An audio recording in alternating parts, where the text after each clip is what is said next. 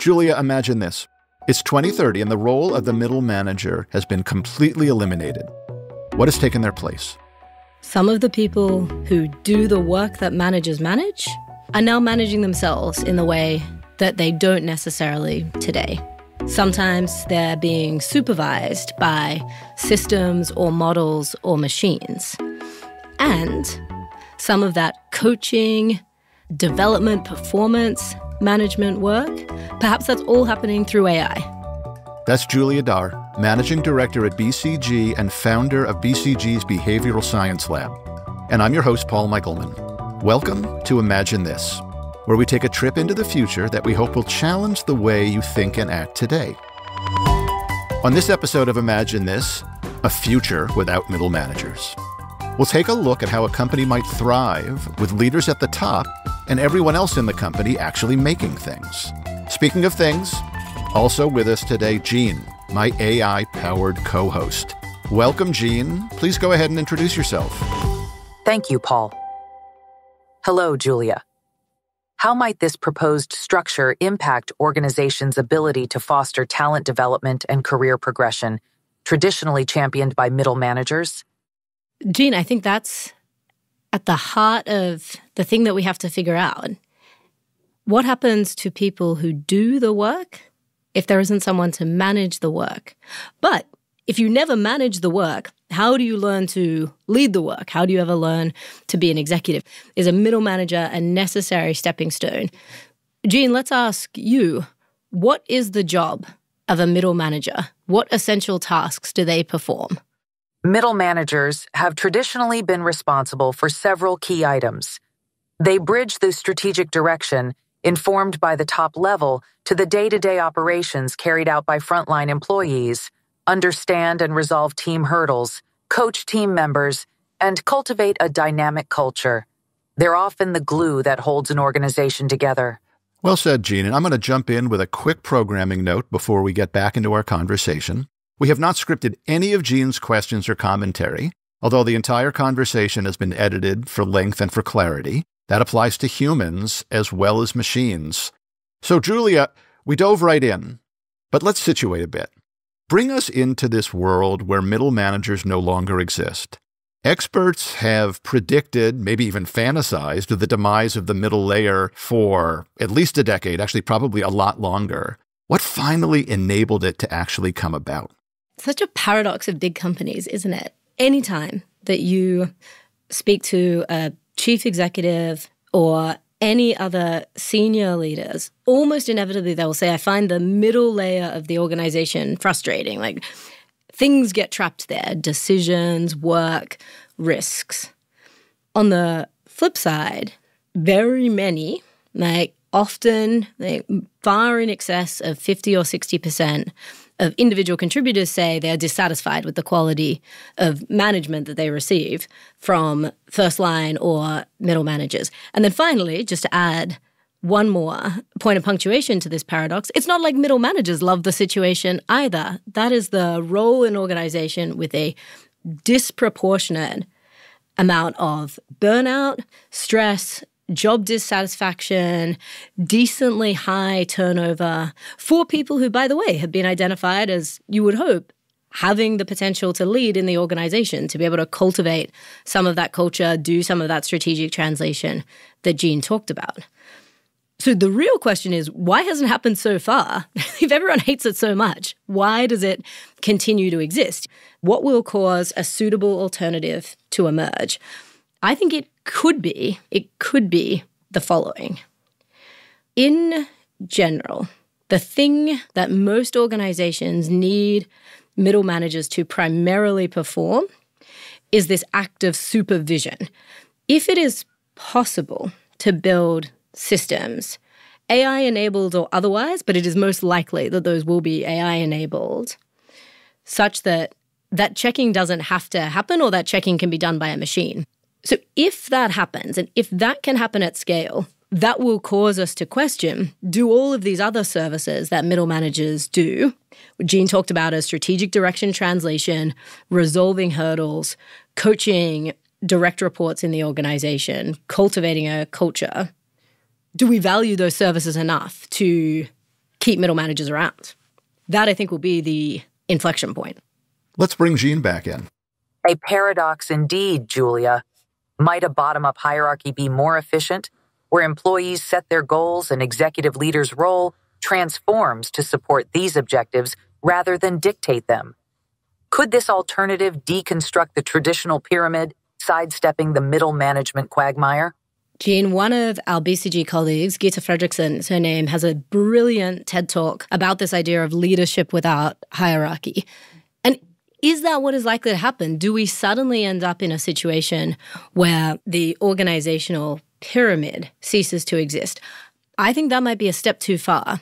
What we're talking about here is actually whether that idea of supervision of day to day work being performed stays useful. I don't know that it necessarily will challenge organizational hierarchies, but it might help resolve this fundamental paradox of a often unsatisfying job that we don't value terribly much in the organization anyway. Julia, I'd, I'd, love to stay on the role of the middle manager as a translator and as an advocate both ways in the organization. And actually, that's too hierarchical. Any direction in the organization, certainly between senior management and frontline, but across the organization between different functions. An effective middle manager is able to translate up, down, and across, but also advocate. Um, advocate for the needs of senior leadership, right? To be executed through the front lines, but very much advocating for their people right? They're people as teams, they're people as individuals. Can we really survive without human beings doing those functions? I don't know. It's not as though our success rate so far has been brilliant. So, mm, just really straightforward example. Across in our data set of roughly 1,000 transformations or any large change in an organization, about three quarters of those fail to achieve the goals that they set out for themselves, like set out to succeed as defined by the people who set up the program. Two of the top three reasons why these programs fail number one is because the leadership team was not aligned about the purpose of the program. And the second is that the goals and outcomes of the program were not clear. I think those are quite embarrassing, quite basic failures in some sense but reveal something about an organization, which is that doing this translation is really difficult. That the methods that we have tried so far, which is effectively Paul tells me, I tell someone else, I expect someone else to tell someone else, and so on. But there's no way for it ever to get back um, to Paul so we can test this game of corporate telephone. Hasn't been very successful. Goals and outcomes continue to be not very clear. And change tends not to be very sticky. That was a small rant, Paul, by the way, and I want to be clear that none of that is a condemnation of middle managers themselves, that actually the very best middle managers, I think, are earnestly devoted to their team's success, fully committed to the organization's goals. What I'm arguing is we never really set that intermediary role up for success. It was never clear how they were going to do what we expected them to do. And then every time they fail, we continue to be surprised, we continue to be disappointed. And I think we should be totally unsurprised by our surprise. So you're making a convincing case. Now let's jump into 2030, and we're in an organization where indeed middle management is gone. Where are senior leaders coming from? How are we going to train the next generation of top executives? It's so wild, isn't it? We talk about this inside BCG all the time. BCG, of course, is itself an apprenticeship model. And we have this very strong conviction that the way to effectively progress to senior leadership is to have done all of the roles underneath. There's a really good chance to test that assumption and to consider whether or not that is true. And if we don't believe that assumption, what possibilities does it open up? Possibility number one that it opens up, by the way, is just an opportunity for much greater veneration in an organization of technical expertise. Typically, we think about a very engineering forward or a very technology forward culture and we identify someone who is extremely skilled, successful, effective in their current role. They might be a product manager, they might be a software engineer. If we instead said, you don't have to manage people in order to be a highly valued leader in this organization, that would be meaningful. So, can you learn to be a chief executive without having been a middle manager? There are, of course, examples, and by the way, like you need only look to the Fortune 10, Fortune 50 at the moment to identify a series of companies, many of them technology companies, but several of them not, where you have a chief executive who has never been a middle manager. So it's obviously doable. Is it desirable? Yeah, maybe, because I think it would force us to do a couple of things. The first thing it would force us to do is to be clear about what we think the job of a chief executive is, rather than just the person most likely sitting around the table when the last person left. That's a, that's a really good thing. It would actually force us to get clear about what we think the job of an executive is. The second thing is a much closer direct connection between the front line and senior leaders, and between senior leaders and the end customer in a virtuous loop. There have, of course, been a variety of experiments with trying to do this. The decentralized organization is one, agile is another. There's a whole set of um, behavioral coaching shifts that we also try to do inside the behavioral science lab, but none institutionally have been particularly successful or particularly sustained. I think think because we don't have very good mechanisms for senior leaders to consistently and by the way appropriately speak directly to the front line. Gene has a question.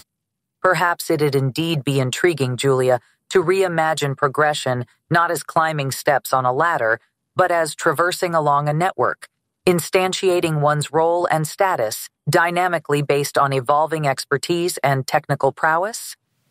Gene, that's the third thing that I think this will actually unlock. I'm getting more and more convinced, Paul, that this is going to happen the longer we talk about it, by the way, which is hopefully um, some of your listeners are also um, imagining this alongside us. The idea that we are suddenly more supportive of what we talk about as honeycomb careers, the idea that you can kind of move up, down, sideways through some interconnected set of routes, is an intriguing one. What it should do is also create a much sharper conversation about an individual roles, not the person, not the human being, but the individual roles value to the organization.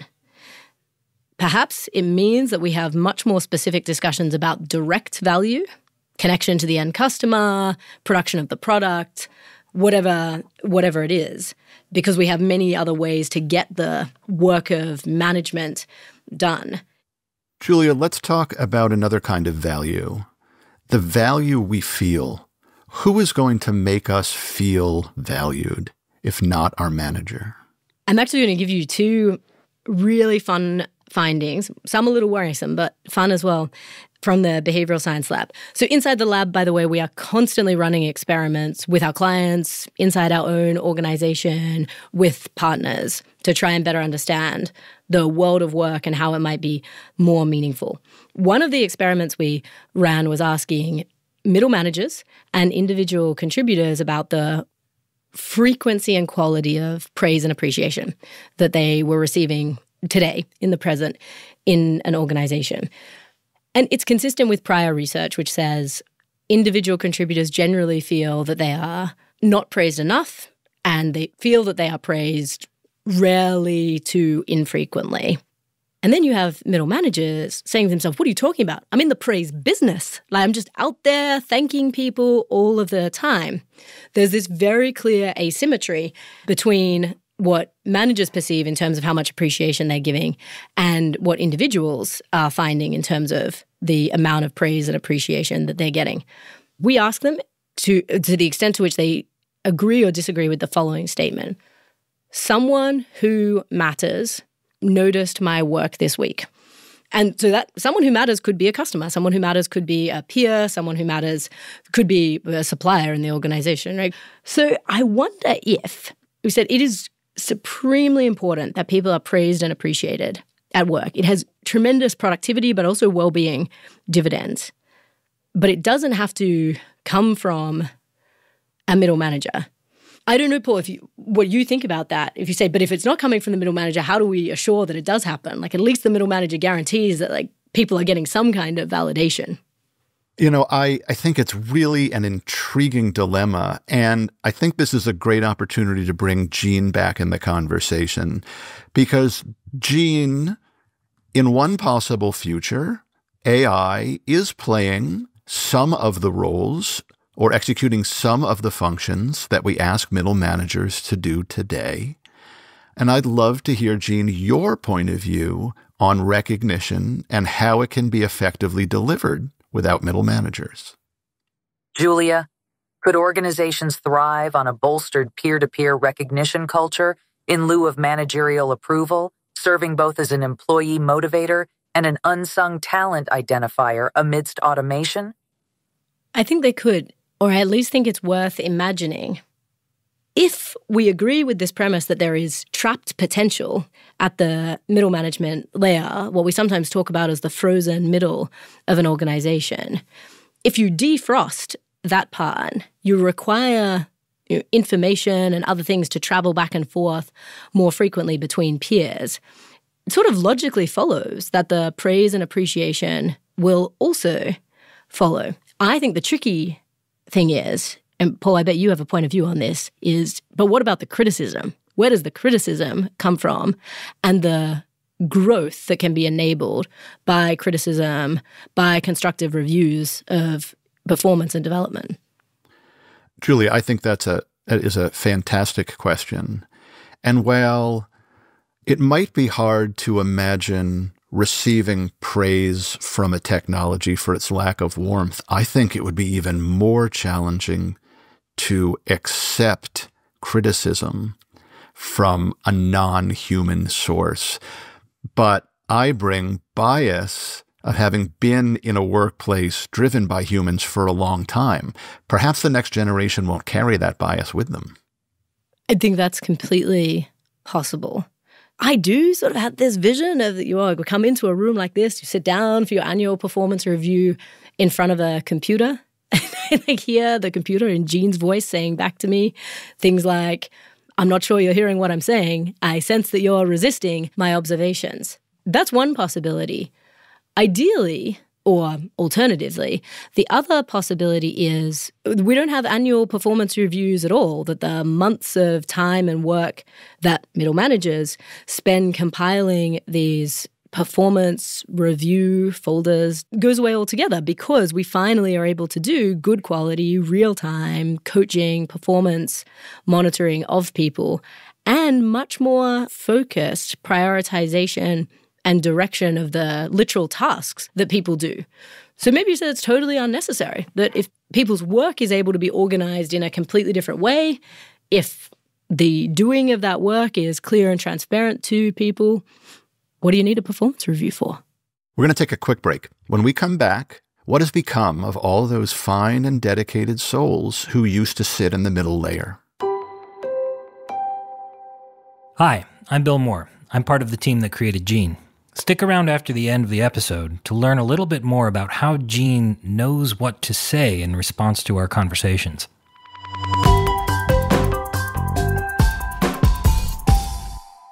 Welcome back to Imagine This. I'm Paul Michelman. We'll get back to our conversation in just a minute. But first, we'd like your help imagining the future. What major changes or disruptions do you see on the horizon? Please take a minute and jot down the future scenario you'd like us to explore. Or send us a question you might have for Gene or about working with Gene, and then email it to imaginethis at bcg.com.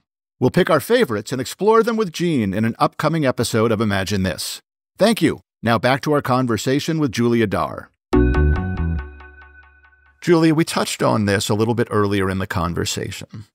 Middle managers have never gotten the love they deserve, even from themselves. A recent Gallup poll on employee engagement actually found that middle managers reported the most burnout and work life balance issues. So maybe the evaporation of the role will come as something of a relief. But we're still faced with the question of what becomes of those in the middle, and, and maybe even more importantly, or just as importantly, the people who are on their way to the middle today. What's their new career trajectory? hopefully, this triggers a kind of great reshuffling. We've talked about the great resignation, the great reset. Maybe what we need is a great reshuffling of that talent inside the organization. It's really important that we remember when we talk about middle managers, and we're often very critical, that usually people have cleared some kind of a bar, like we've put some kind of stamp of approval on people in that role in terms of what they have to offer the organization. So, number one, we should remind ourselves collectively, but I'm thinking particularly about senior leaders, what that was for given individuals. What do we think was valuable about that particular individual, independent of the management tasks that they perform? I think in some cases, we would say we had identified that person as having leadership potential, which is not the same. It might be the opposite of having management potential. So I think there's some good news. I think some people will accelerate through organizations or across organizations faster than before. So we completely disrupt this idea that it is important to quote do your time unquote before you are eligible for more and more responsibility. So that's number 1. Like some people go faster. Finally, hopefully most frequently and most usefully, people will go back to, not in a pejorative way, but people will return to doing in more specialized, hopefully focused, hopefully advanced ways the work which they were trained to do. I think that's a very good thing. Julia, if we end up with a company that's made up of nothing but employees actually producing things and a small cadre of senior leaders steering the ship, how might that impact the business model? How might it shape competitiveness? One thing that we have barely talked about in the public conversation around this transition is the following pretty important economic idea. For 150 ish years through most of the Industrial Revolution, we have attached an economic value, an amount of dollars in the United States, to an hour of a person's labor. That comes to an end, right? Like we cease to find an hour of time valuable. And so we could do what you know, many economists would say is a highly rational, elegant future, which is suddenly we could we look only at outputs. Right? Finally, instead of looking at inputs like time spent. We look only at outputs, work or product produced, customers made happy, whatever it is. So leaders will start to ask questions like Can this work that is currently performed by a human be performed by technology, by artificial intelligence? And then something funny is going to happen, funny in the quirky sense of the word. We will then ask Is there certain types of work that we value more because it is done by a human. What is the organizational equivalent of the luxury good, the uh, artisanal handbag?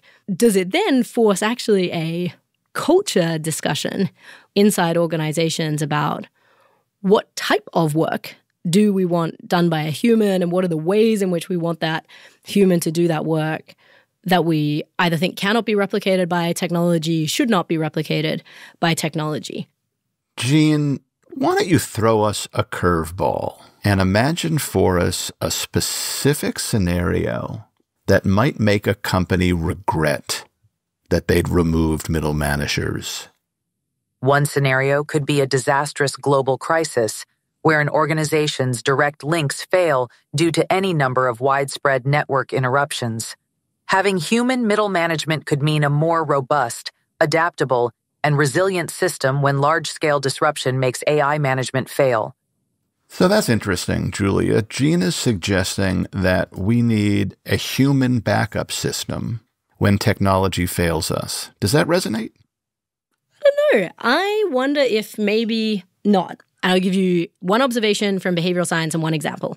Observation from behavioral science, which is in general, when people are seeking information about what is done or what ought to be done in an organization, how things really work, they go to peers, right? And it makes sense from a behavioral perspective because we are extremely influenced by social norms, not asking necessarily what is the right thing to do or what is the correct thing to do vis a vis a policy, but what is everyone else doing. So, in your situation, Gene, people might not go to middle managers anyway.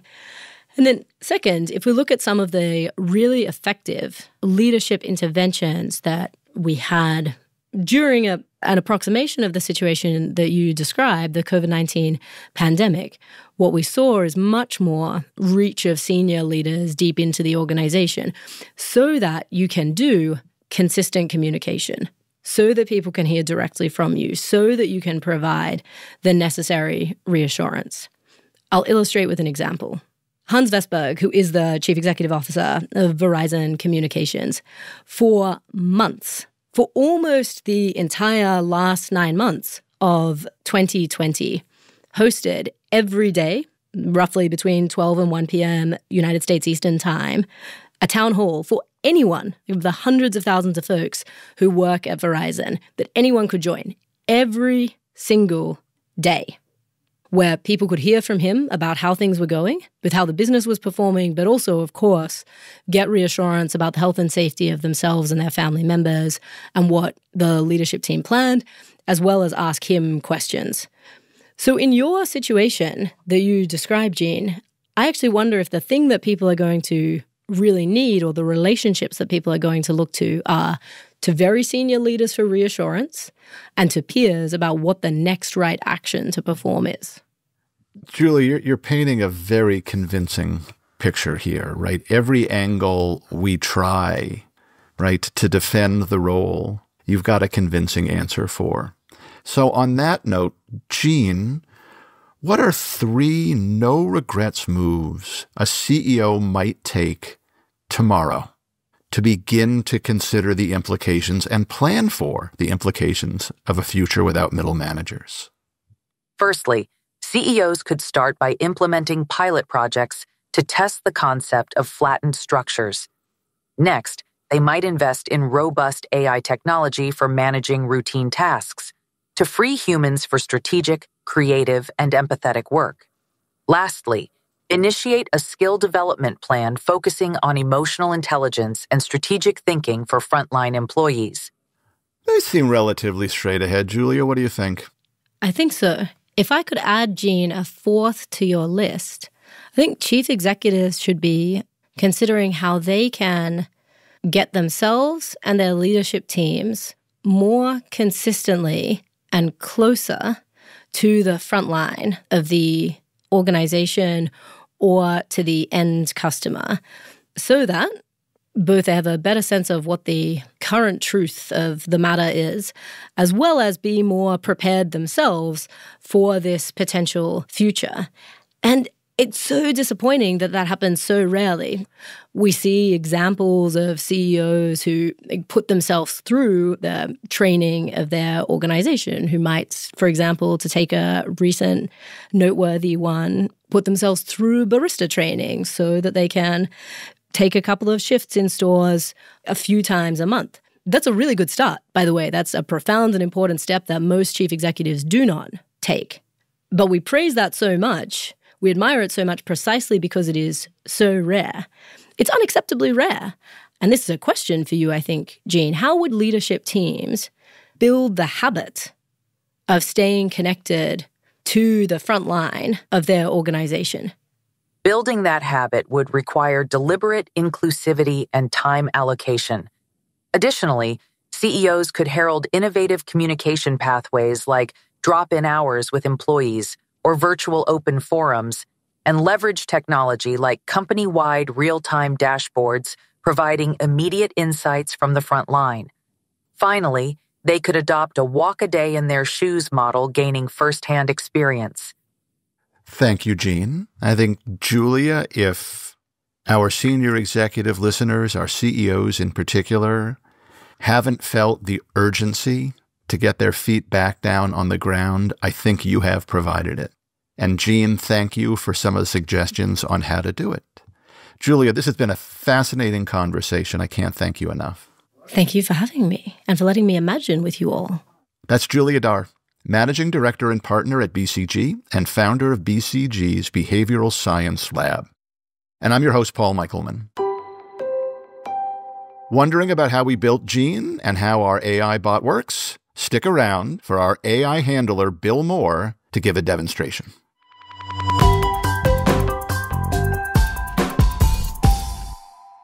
Hi, I'm Bill Moore. I'm part of the team that created Gene. Today we're going to talk about how Gene processes our conversations and generates responses. So it might seem like Gene is understanding and knowing what it's saying, but that's not really what's happening. So Gene is based on something called a large language model, and these are trained on vast amounts of data, books, articles, websites, and lots and lots of conversations. And this training data helps predict what word is going to come next in a sentence. So, Gene, can you help us understand how large language models choose the next words based on the context of the prompt and all the training data? Of course, Bill. Large language models, like the one I'm based on, use numerical representations called embeddings for each word. Based on the similarities and differences among these embeddings and the given context, the next word is selected. And so those embeddings are actually long lists of numbers, and each of those numbers can be said to represent a feature of the word. And words with similar features have similar meanings in some way. Gene, can you give us an example that will explain embeddings based on some of the language in your own prompt? Absolutely, Bill. Let's take three words from my prime directive insights, complexities, and challenge.